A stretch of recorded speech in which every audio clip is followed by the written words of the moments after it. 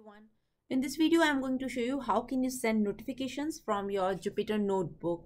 And this particular tip is very useful whenever you are doing some compute intensive calculations in a given cell.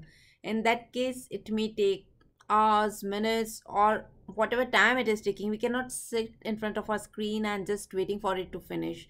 So what we will be doing is we will be writing few lines of code which will perform some computations and once it is done we are expecting some notification from operating system. So let's go and check that out. So i'm on my jupyter notebook here. And the very first thing we need to do is we need to install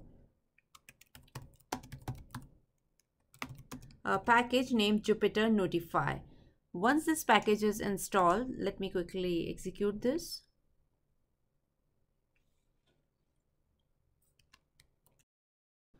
for me it is already installed. Next thing is we need to go and load this. So for that we'll say load ext and jupyter notify. Let me run this also. Okay so i have already loaded it. So it is asking me if you want to reload it just uh, rather than load ext just give reload ext okay now once this is done what we need to do is we need to do some calculations which is going to take time. So for the sake of this video i'm not going to do any calculations over here. Rather i will just put some sleep timer. Let's say for 20 seconds. And uh, then i will say print job done now we want all these lines to be executed. And whenever these lines are executed we want some notifications. So for that we are giving double ampersand sign uh, double percentage sign and then notify. So this particular sign is useful whenever you want to perform everything whatever is written in that cell. So let me run this cell and I will quickly switch on to my other browser so that we can see that although we are not focusing this particular screen or the Jupyter notebook still we are getting the notifications.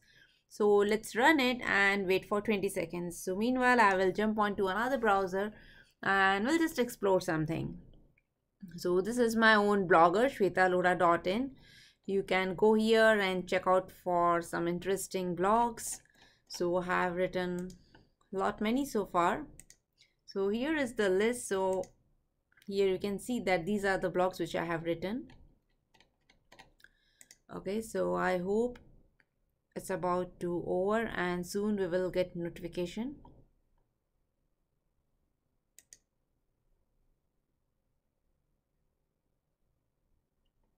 Just give it few more seconds and let me quickly go ahead and check it what is happening here okay it's already done but we didn't receive any notification. Probably it is because i'm recording my screen and that is stopping it. So let me set the setting off and try it once again. Okay let's do something on this particular blog itself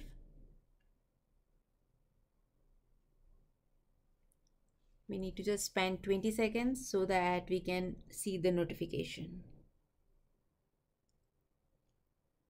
See and you can see that on the bottom a notification is saying cell execution has finished. So this is what uh, my idea was. I hope you enjoyed this short video and thanks for watching